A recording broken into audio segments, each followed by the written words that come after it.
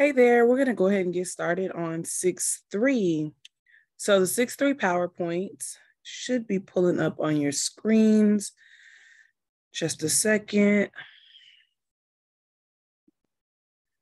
All right, there we go.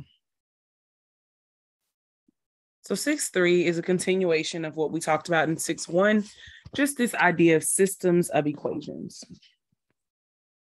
Systems of equations are, again, um, where multiple equations work together and you can find solutions of these systems by finding the common points that they have. Um, but today specifically, we're going to be looking at systems of equations in three variables. I will tell you that if you have three variables, you must have three equations. That is the only way you're going to be able to solve um, systems that have three variables. So we've been dealing in 6-1, we had two variables and two equations. Those variables were x and y. In this case, we're going to have three variables, x, y, and z.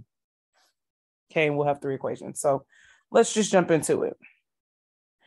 Identify the solution um, to the system of equations. So we have the system of equations and we they want us to check both of these and see which one is a solution or if both of them are solutions.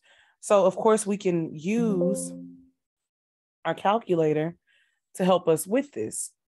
So in my calculator, let me just quit this app um, and I'm gonna get into it so you have that all on video.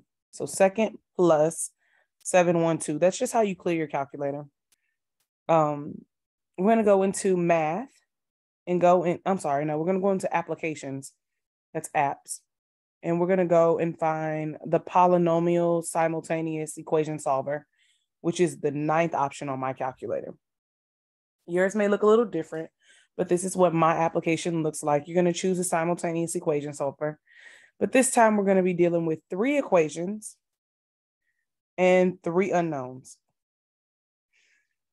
auto that can be if you wanted to give it to you um, in in just a real number format or a decimal um, or fraction or whatever type of format you want your number to be delivered to you in. Um, the mode of the calculator so i'm leaving it in normal. Float would mean that it will just float the decimals out. It won't round to a specific decimal point. And then radian or degrees we'll leave it on degree okay? So i'm going to go next which this next key actually is from the graph and you can see that it's asking me for all my coefficients. So I'm going to go back over here and I want to find the coefficients. So I'm going to kind of create a matrix. And if your calculator um, has you write yours in matrix format, then this is really going to help you. So this coefficient is one. So my first entry will be a one. This one is also a one. So we'll one. This is a negative two. So the second entry is negative two. And the answer column is negative three. So you can kind of separate those so that we have the coefficients of X, Y, and Z. And then we have the um, constant numbers. So then we have two, negative one, negative three, negative nine. This again is negative one. So pay attention to that, okay? And then you have negative one, one, four, and 13. So if it's a positive number, we just put that. And if it's a subtraction, we're going to write that as a negative um, number. Okay. So then I pull up my calculator. I'm going to type those values in for my coefficients. I'm going to not worry about the pluses.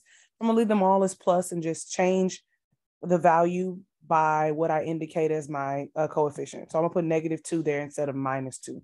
And that's totally fine.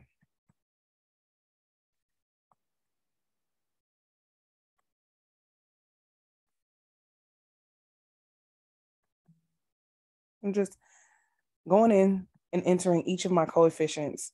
And you want to make sure you do this right because if you do it incorrectly, you will end up with an incorrect answer.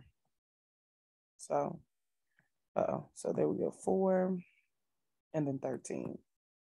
Okay, so I'm just double checking one, one, negative two, negative three, two, negative one, negative three, negative nine, negative one, one, four, 13. Okay, and then solve is what I want to do. So I'm gonna click graph, which is a solve. And it's literally just spits out x equals one, y equals two, z equal three. And that is my answer, indicating that this would be the solution. with it being X, Y, Z coordinate pair. Or coordinate triple, I'm sorry. All right. And number, well, this is slide three, basically allows us to just check our work. So you'll want to substitute in the values for the first one and see if they come out um, with the right answer every time. Well, it works in the first one, but the se- this does not work in this second one because we end up with negative 10 equals negative 9. So we knew that that was not a solution. This is just showing you how to do it by hand.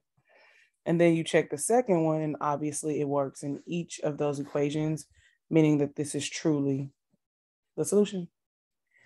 And believe it or not, that is 6-3. We are done with 6-3. Um, the next video you'll see is for 6-4.